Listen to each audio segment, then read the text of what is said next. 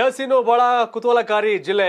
ಶಿವಮೊಗ್ಗ ಜಿಲ್ಲೆಯಲ್ಲಿ ಏಳು ವಿಧಾನಸಭಾ ಕ್ಷೇತ್ರ ಬರುತ್ತೆ. ಏಳು ವಿಧಾನಸಭಾ ಕ್ಷೇತ್ರಗಳಲ್ಲಿ ಎರಡ್ ಸಾವಿರದ ಹದಿನೆಂಟರಲ್ಲಿ ಆರು ಬಿಜೆಪಿ ಒಂದು ಕಾಂಗ್ರೆಸ್ ಗೆಲುವನ್ನು ಸಾಧಿಸಿತ್ತು. ಅಕ್ಟೋಬರ್ ಸರ್ವೆ ಪ್ರಕಾರ ನಮ್ಮ Karnataka October survey last month survey ಮೂರು ಬಿಜೆಪಿ ಮೂರು ಕಾಂಗ್ರೆಸ್ ಒಂದು ಜೆ ಡಿ ಎಸ್ ಅಂತ ಹೇಳಿತ್ತು.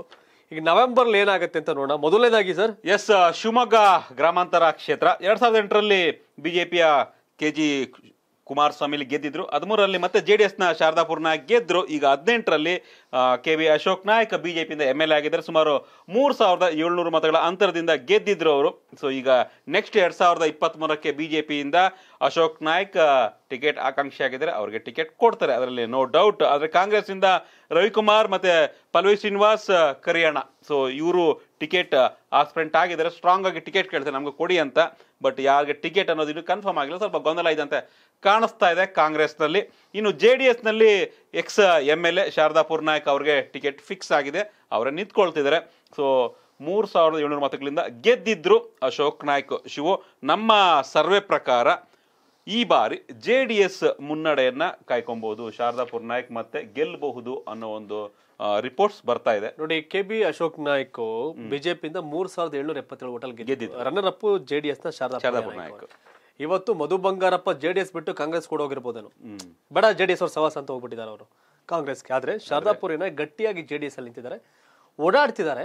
ಅವ್ರ ಬಗ್ಗೆ ಒಂದು ಅನುಕಂಪ ಇದೆ. ಜೆ ಡಿ ಎಸ್ನ ಶಾರದಾಪುರಿ ನಾಯಕ್ ಬಗ್ಗೆ ಒಂದು ಅನುಕಂಪ ಇದೆ. ಜೊತೆಗೆ ರವಿಕುಮಾರ್ ಪಲ್ಲವಿ ಶ್ರೀನಿವಾಸ್ ಕರಿಯಾಣಿ ಅವರೆಲ್ಲ ಟಿಕೆಟ್ ಕೇಳ್ತಾ ಇದ್ದಾರೆ ಕಾಂಗ್ರೆಸ್ ಇಂದ ಅಶೋಕ್ ನಾಯ್ಕೆ ಮತ್ತೆ ಬಿಜೆಪಿ ಟಿಕೆಟ್ ಆಗುತ್ತೆ. ಬಟ್ ಒಂದ್ ಹೆಜ್ಜೆ ಗ್ರೌಂಡ್ ಅಲ್ಲಿ ಇವತ್ತು ಶಾರದಾ ನಾಯಕ್ ನಾಯ್ಕ ಅವರು ಮುನ್ನಡೆನ ಕಾಯ್ದುಕೊಂಡಿದ್ದಾರೆ. ಅವರು ಲಾಸ್ಟ್ ಮಂತ್ ನಡೆಯಲಿದ್ರು ಈ ಮಂತ್ ಕೂಡ ನಮ್ಮ ಸರ್ವೆ ಪ್ರಕಾರ ಅವರು ಲೀಡಲ್ಲಿದ್ದಾರೆ ಅಲ್ಲಿದ್ದಾರೆ ಶಿವಮೊಗ್ಗ ಗ್ರಾಮಾಂತರದಲ್ಲಿ ಜೆಡಿಎಸ್ ಮುನ್ನಡೆನ ಕಾಯ್ದುಕೊಂಡಿದೆ.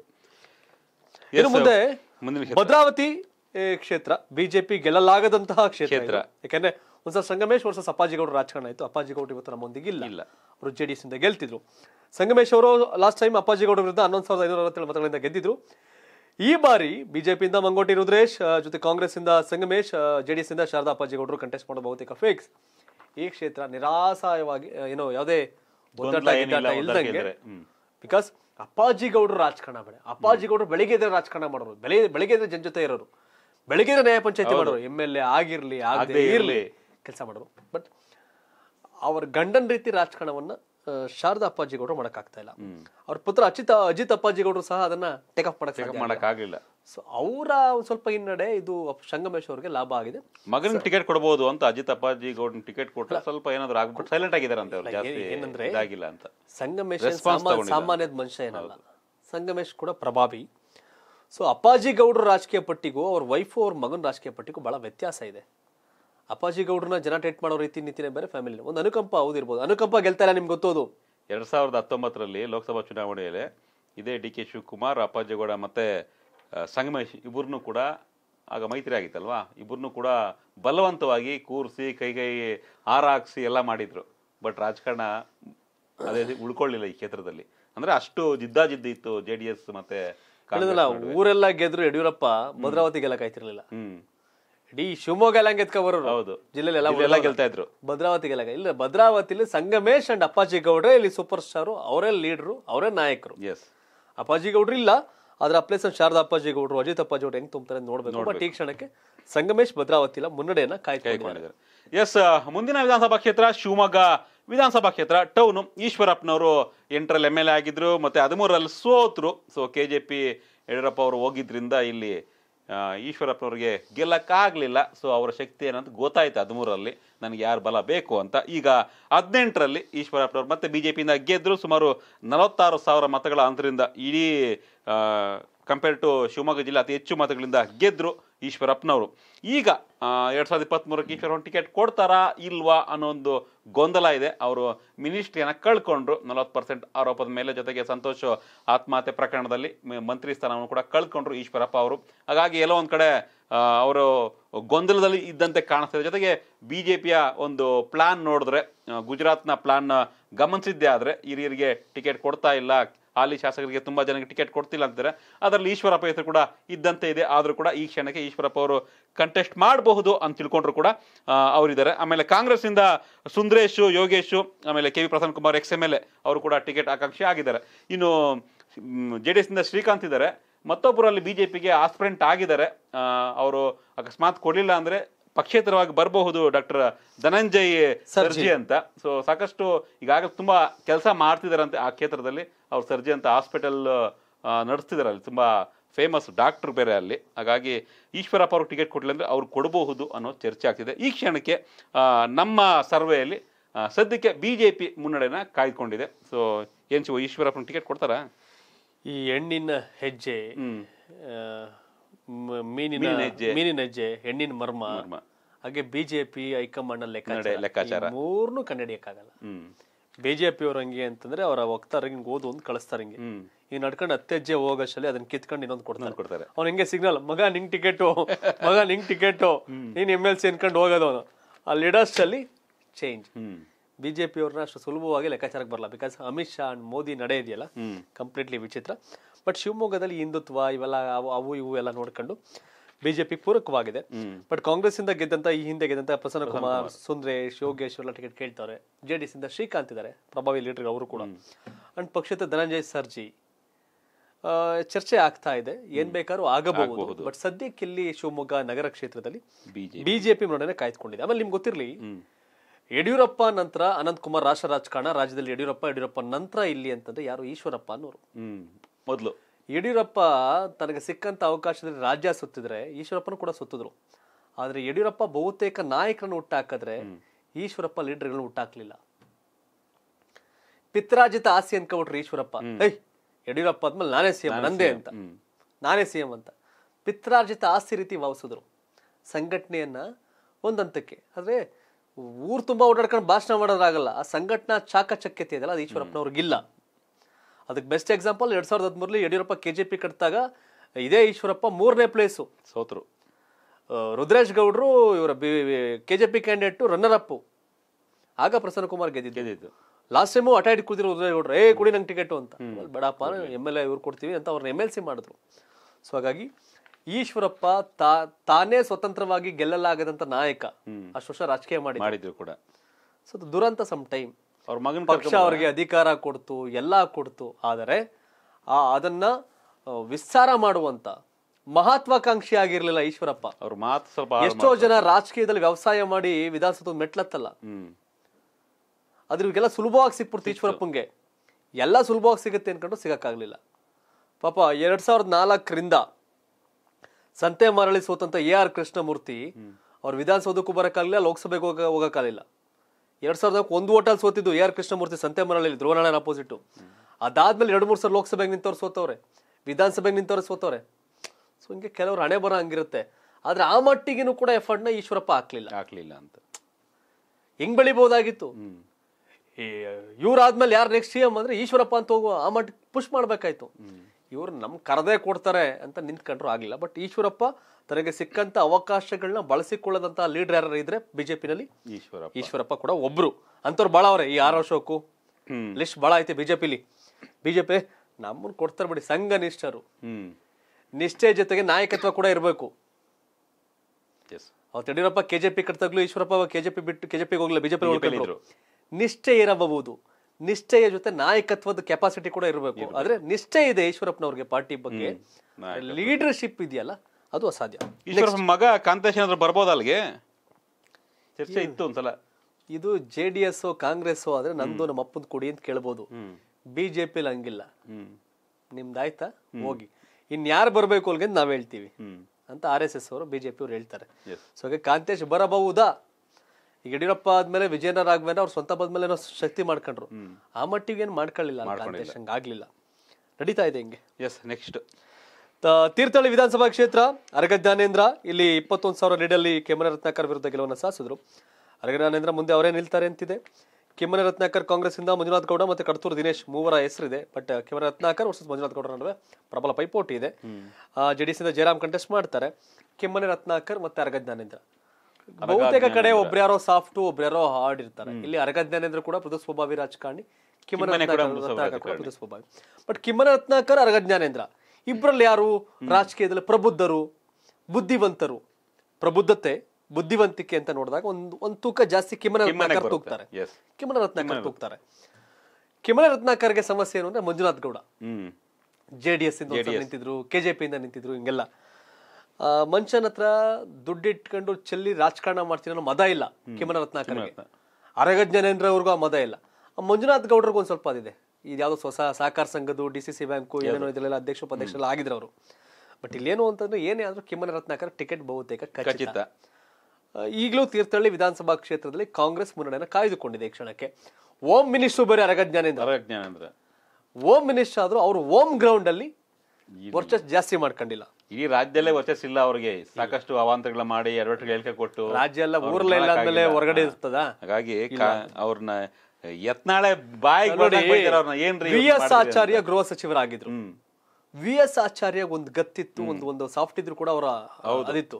ಆದ್ರೆ ಅದ್ ಯಾವ್ದೂ ಈ ಅರ್ಗಜ್ಞಾನ ಜ್ಞಾನೇಂದ್ರವ್ರಿಗಿಲ್ಲ ಯಾರು ಕೆಲವ್ರು ಯಾರೋ ಕಾಮೆಂಟ್ ಮಾಡಿದ್ರು ಏ ನೀವೇನಿಂಗ್ ಮಾತಾಡ್ತೀರಿ ಹಿಂಗ್ ಹೇಳ್ತೀರಿ ಅವ್ರಿಗೆ ಅಂತ. ಯಾಕೆಂದ್ರೆ ಒಂದು ಪಕ್ಷ ಅಂದಾಗ ಒಂದು ಅವಕಾಶ ಕೊಟ್ಟಾಗ ಅದನ್ನ ಬಳಸ್ಕೊಂಡು ಪಕ್ಷ ಸಂಘಟನೆನೋ ಸರ್ಕಾರದಲ್ಲಿ ಒಳ್ಳೆ ಆಡಳಿತ ಕೊಟ್ಟು ಹೆಸರು ಮಾಡೋದಿರುತ್ತೆ.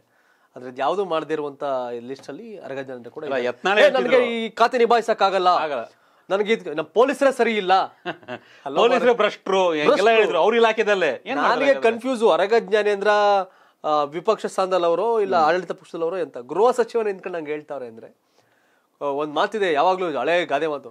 ಕೊಟ್ಟ ಕುದುರೆಯನ್ನ ಏರಲಾಗದವನು ವೀರನೂ ಅಲ್ಲ ಶೂರನೂ ಅಲ್ಲ ಅಂತ. ಅದು ಇವ್ರಿಗೆ ಹೆಚ್ಚಾಗಿ ಅಪ್ಲೈ ಆಗೋಂಗ್ ಕಾಣ್ತದೆ. ಅವ್ರ ಪಕ್ಷದ ಎತ್ನಾಳೆ ಬಾಯಿಗೆ ಬಂದಾಗ ಬಂದ್ ಮಾತಾಡ್ತಾರೆ ಅವ್ರ ಬಗ್ಗೆ. ಏನ್ರಿ ಅಂತವ್ರಿಗೆಲ್ಲ ಹೋಮ್ ಮಿನಿಸ್ಟರ್ ಕೊಟ್ಟು ನನ್ ಕೈ ಕೊಡ್ರಿ. ಗುಂಡಿಟ್ಸ್ ಗುಂಡಿಟ್ ಇದ್ ಮಾಡ್ತೀನಿ ಎನ್ಕೌಂಟರ್ ಮಾಡ್ತೀನಿ ಹಂಗೆ ಹಿಂಗೆ ಅಂತ. ನಿಮ್ಗೆ ಆಯುಧ ಆಯುಧಗಳನ್ನ ಸರಿಯಾಗಿ ಬಳಸರ್ ಕೊಡಬೇಕು. ಈ ಎತ್ನಾಳೇನು ನಾನು ಕ್ಲೀನ್ ಕೃಷ್ಣಪ್ಪ ಅಂತ ಹೇಳ್ತಿಲ್ಲ ಹುಚ್ಚುಚ್ಚಾಗಿ ಬಳಸ್ಬಿಡ್ತಾರ ಮೇಲೆ ಅದು ಡೇಂಜರ್ ಡೇಂಜರ್ ಅದಕ್ಕೆ ಇವರೇ ಪರವಾಗಿಲ್ಲ ಅನ್ಕೊಂಡು ಸುಮ್ಮನಿರ್ಬೇಕು ಎಸ್ ಎಸ್ ಮುಂದಿನ ವಿಧಾನಸಭಾ ಕ್ಷೇತ್ರ ಶಿಕಾರಿಪುರ ವಿಧಾನಸಭಾ ಕ್ಷೇತ್ರ. ಯಡಿಯೂರಪ್ಪ ಅವರು ಇಲ್ಲಿ ಹದ್ ಎಂಟರಲ್ಲಿ ಗೆದ್ದಿದ್ರು ಅದಾದ್ಮೇಲೆ ಹದಿಮೂರಲ್ಲಿ ಗೆದ್ರು ಮತ್ತೆ ಅವ್ರ ಮಗ ಎಂ ಪಿ ಆದ್ರು ಪಿ ಅಲ್ಲಿ ಇವರು ಎಂ ಪಿ ಆದ್ರು ಮತ್ತೆ ಮತ್ತೆ ಅವ್ರ ಮಗನಿಗೆ ವಿಜೇಂದ್ರ ರಾಘವೇಂದ್ರ ಮತ್ತೆ ಹದಿಮೂರಲ್ಲಿ ಗೆದ್ದರು ಬಿ ಜೆ ಪಿಯಿಂದ ಎಲ್ಲ ಜಾಯಿನ್ ಆದಮೇಲೆ ಎಲ್ಲ ಕೆ ಜೆ ಪಿ ಬಿಟ್ಟು ಎಲ್ಲ ಬಂದ ಮೇಲೆ ಮತ್ತೆಲ್ಲ ಡ್ಯಾಮೇಜ್ ಕಂಟ್ರೋಲ್ ಮಾಡಿಕೊಂಡ್ರು. ಹದಿನೆಂಟರಲ್ಲಿ ಮತ್ತೆ ಯಡಿಯೂರಪ್ಪ ಗೆದ್ದರು ಸುಮಾರು ಮೂವತ್ತೈದು ಸಾವಿರ ಮತಗಳ ಅಂತರದಿಂದ ಯಡಿಯೂರಪ್ಪ ಅವರು ಗೆದ್ದರು ಈಗ ನಾನು ನಿಲ್ಲೋದಿಲ್ಲ ಅಲ್ಲಿ, ನನ್ನ ಮಗ ವಿಜಯೇಂದ್ರ ನಿಲ್ತಾನೆ ಅಂತ ಈಗಾಗಲೇ ಹೇಳಿಕೆಯನ್ನು ಕೊಟ್ಟಿದ್ದಾರೆ. ವಿಜಯೇಂದ್ರ ಅದಕ್ಕೇನು ಬೇಕೋ ಎಲ್ಲ ತಯಾರಿಯನ್ನು ಮಾಡ್ಕೊಳ್ತಾ ಇದ್ದಾರೆ. ಶಿಕಾರಿಪುರ ಕ್ಷೇತ್ರದಲ್ಲಿ ವಿಜಯೇಂದ್ರ ಅವರು ಅಭ್ಯರ್ಥಿ ಆಗ್ತಾ ಇದ್ದಾರೆ. ಜಾಸ್ತಿ ಮೆಜಾರಿಟಿಯಿಂದ ಗೆಲ್ಲಬೇಕು ಹೈಕಮಾಂಡ್ಗೆ ತನ್ನ ಪವರನ್ನು ತೋರಿಸ್ಬೇಕು ಅಂತ ವಿಜಯೇಂದ್ರ ಅವರು ಸಾಕಷ್ಟು ಆಪರೇಷನ್ಸ್ ಅನ್ನ ಅಲ್ಲಿಗಾಗಲೇ ಮಾಡ್ತಾ ಇದ್ದಾರೆ ಜೆ ಡಿ ಎಸ್ ಮತ್ತೆ ಕಾಂಗ್ರೆಸ್ನ ಕೆಲವೊಂದಿಷ್ಟು ನಾಯಕರನ್ನ ಪಕ್ಷಕ್ಕೆ ಸೆಳೆಯುವಂತಹ ಒಂದು ಪ್ರಯತ್ನವನ್ನ ಕೂಡ ವಿಜೇಂದ್ರ ಮಾಡಿದ್ದಾರೆ, ಮಾಡ್ತಾ ಇದ್ದಾರೆ. ಸೊ ವಿಜೇಂದ್ರ ಅವರೇ ಬಿಜೆಪಿಯ ಅಭ್ಯರ್ಥಿ ಎರಡ್ ಸಾವಿರದ ಇಪ್ಪತ್ತ್ ಮೂರಕ್ಕೆ ಸೊ ಇನ್ನು ಗೋಣಿ ಮಾಲ್ತೇಶ್ ಟಿಕೆಟ್ ಆಕಾಂಕ್ಷಿ ಆಗಿದ್ದಾರೆ. ಅವರಿಗೆ ಟಿಕೆಟ್ ಸಿಗಬಹುದು. ನೋಡೋಣ ಕಾಂಗ್ರೆಸ್ನಿಂದ ಏನೋ ಡೆವಲಪ್ ಆಗುತ್ತೆ ಅಂತ.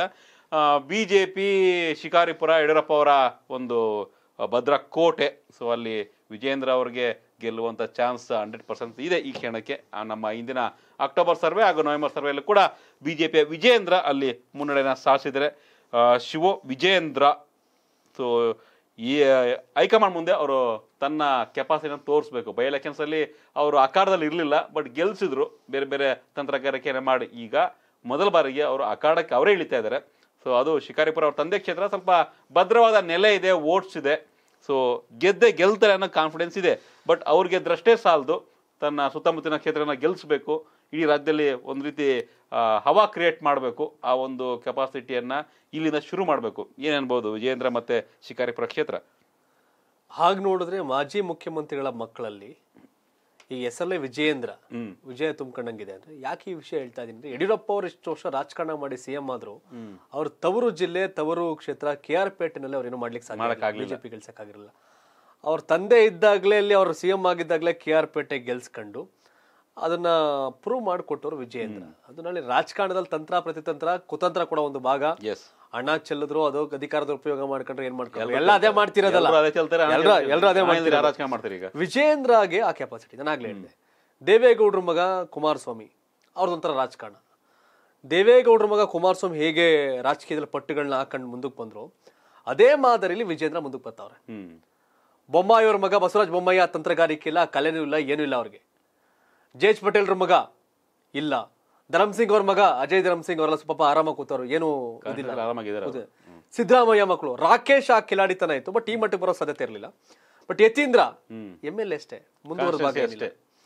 ಸೊ ಹಾಗೆ ನೋಡೋ ನೋಡೋದಾದ್ರೆ ಎಸ್ ಎಂ ಕೃಷ್ಣ ಫ್ಯಾಮಿಲಿ ಯಾರಿಲ್ಲ. ಗುರುಚರಣ್ ಈಗ ಏನೋ ತಮ್ಮನ ಮಗ ಬರ್ತಿದ್ದಾರೆ. ಕುಮ್ ಬಂಗಾರಪ್ಪ ಅವ್ರ ಮಕ್ಕಳು ಕುಮಾರ್ ಬಂಗಾರಪ್ಪ ಮಧು ಬಂಗಾರಪ್ಪ. ಬಟ್ ಈ ಲೆವೆಲ್ ಲೀಡರ್ಶಿಪ್ನ ಶೋ ಬೆಳೆಸ್ಕೊಳ್ಳಿಲ್ಲ. ಬೆಳೆಸ್ಕೊಳ್ಳಿಲ್ಲ ಆಗ್ಲಿಲ್ಲ. ಸೊ ಆಗ ನೋಡಿದ್ರೆ ಮುಖ್ಯಮಂತ್ರಿಗಳ ಮಕ್ಕಳಲ್ಲಿ ದೇವೇಗೌಡರ ಮಗ ಕುಮಾರಸ್ವಾಮಿ ಅವ್ರನ್ನ ಹೊರತುಪಡಿಸಿದ್ರೆ ಯಡಿಯೂರಪ್ಪ ಅವ್ರ ಮಗ ವಿಜಯೇಂದ್ರ ಆ ಮಟ್ಟಿಗಿನ ತಾಕತ್ತನ್ನ. ತಂದೆ ಮೀರ್ಸು ಅಪ್ಪನ್ ಮೀರ್ಸನ್ ಮಗನಲ್ವೇ? ಹಂಗೇನಾದ್ರು ತಾಕತ್ ಬೆಳೆಸ್ಕೊಂಡ್ರೆ ಒಂದು ಒಂದ್ ಕಡೆ ಕುಮಾರಸ್ವಾಮಿ ಒಂದ್ ಕಡೆ ವಿಜೇಂದ್ರ. ವಿಜೇಂದ್ರಾಗ ಆ ಕೆಪಾಸಿಟಿ ಇದೆ. ಅಂದ್ರೆ ಏ ಶಿವು ನೀವು ಅವ್ರು ಮಾಡೋ ಆಟ ಕೆಲವ್ರು ಹೇಳ್ತಾರೆ ಅಡ್ದಾರಿ ಕೆಲ್ಸಗಳಿಗೆಲ್ಲ ಸಪೋರ್ಟ್ ಮಾಡ್ತೀರನ್ನ ನಾನು ರಾಜಕೀಯ ತಂತ್ರಗಾರಿಕೆ ನೈಪುಣ್ಯತೆ ಬಗ್ಗೆ ಹೇಳ್ತಾವನಷ್ಟೇ. ಬೇರೆ ಬೇರೆ ವ್ಯವಹಾರದ ಬಗ್ಗೆ ಮಾತಾಡ್ತಿಲ್ಲ ಮಾತಾಡ್ತಾ ಇಲ್ಲ. ನನ್ನ ಕಡೆ ಕುಮಾರಸ್ವಾಮಿ ಅವ್ರ ತಾಕತ್ ಬಗ್ಗೆ ಹೇಳ್ತೀನಿ ವಿಜಯನ್ ಅವ್ರ ತಾಕತ್ ಬಗ್ಗೆ ಹೇಳ್ತೀನಿ ಅಷ್ಟೇ. ಕಂಪೇರ್ ಟು ಅದರ್ಸ್ ಸಿ ಗಳ ಮಕ್ಕಳುಗಳನ್ನು ಹೋಲಿಕೆ ಮಾಡಿದ್ರೆ ಇವರು ಅದನ್ನು ಬಳಸ್ಕತ್ತವ್ರೆ. ಎಸ್ ಅದು ಹಂಗೆ. ವಿಜೇಂದ್ರ ಅವರು ಶಿಕಾರಿಪುರ ಗೆಲ್ತಾರೆ. ಯಾಕಂದ್ರೆ ಅವರು ಯಾಕಂದ್ರೆ ಒರಣಾಗ ಹೋಗಿ ಒದಾಡಕ್ಕಿಂತ ಶಿಕಾರಿಪುರದಲ್ಲಿ ನೆಮ್ಮದಿಯಾಗಿ ಗೆಲ್ಲಿ ಅಂತ ಅವ್ರ ಅಪ್ಪ ಅಲ್ಲಿ ಬಿಟ್ಟು ಕಳಿಸೋರೆ ಹೌದು ನೀವು ವರ್ಣಕ್ಕೆ ಹೋಗಿದ್ರಲ್ಲ? ಏನಂದ್ರು ವಿಜೇಂದ್ರ ಬರ್ಬೇಕು ಅದು- ಕೆಲವರು ಕರೀತಾರೆ ಕೆಲವರು ಸಿದ್ದರಾಮಯ್ಯ ಬರಲಿ ಅಲ್ಲಿಗೆ ಅಂತಾರೆ.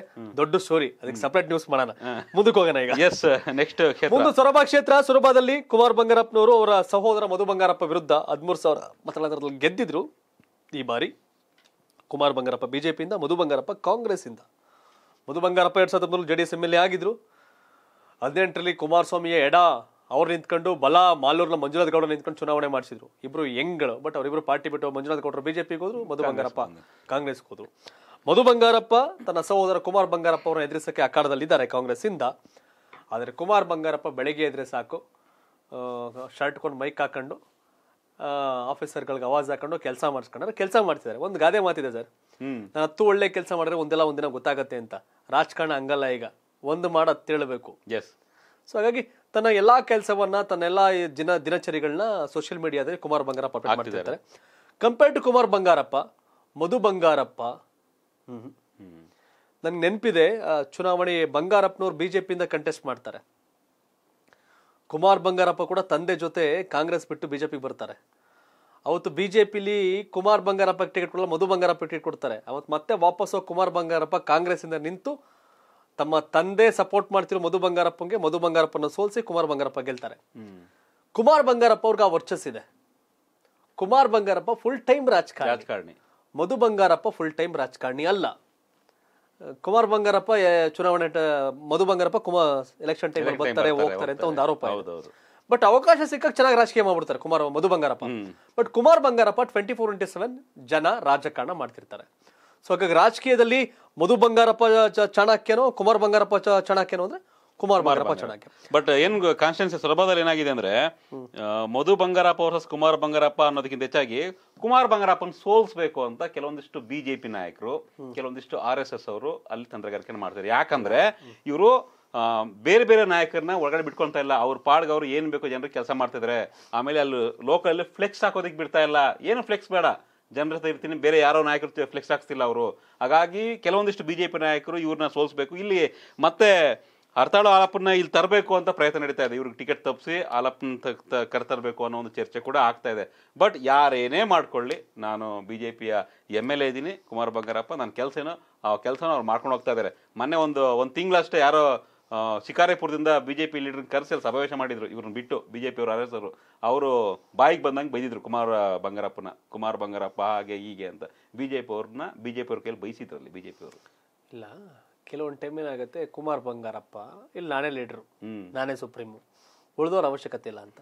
ಪಕ್ಷ ಒಬ್ರು ತಾಲೂಕು ಅಧ್ಯಕ್ಷ ನೇಮಕ ಮಾಡ್ರೆ ಮಂಡಲ ಅಧ್ಯಕ್ಷನ. ಕುಮಾರ್ ಬಂಗಾರಪ್ಪ ಅವರು ಮಂಡಲ ಅಧ್ಯಕ್ಷ ನೇಮಕ ಮಾಡಿದ್ರು ಅಂತ ಕೇಳ್ಪಟ್ಟಿದ್ದೆ. ಎರಡನೇ ವಿಚಾರ ಕೆಲವೊಂದು ಟೈಮ್ ಪಕ್ಷ ಬಹಳ ರಿಜಿಡ್ ಆಗ್ಬಿಟ್ರೆ ಏ ಹಂಗೆ ಅಂತ. ನಿಮ್ಗೆ ಎಂ ಎಲ್ ಎಗಳು ಬೇಕಾ?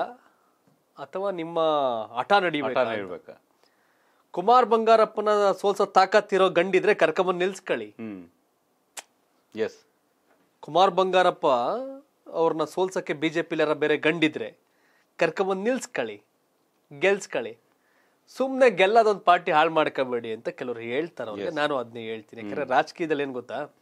ಹೋರಾಟ ಯಾವಾಗ ಮಾಡ್ಬೇಕಂತೆ ಅಂದ್ರೆ ಶಕ್ತಿ ಇದ್ದಾಗ ಮಾಡಬೇಕಂತೆ. ಸುಮ್ ಸುಮ್ಮನೆ ಹೋಗ್ಬಿಟ್ಟು ಗೋಡೆಗೆ ಗುತ್ಕೊಂಡ್ರೆ ಕೈ ನೋವು ಬರ್ತದೆ ಮೈ ಕೈ ನೋವು ಆಯ್ತದೆ.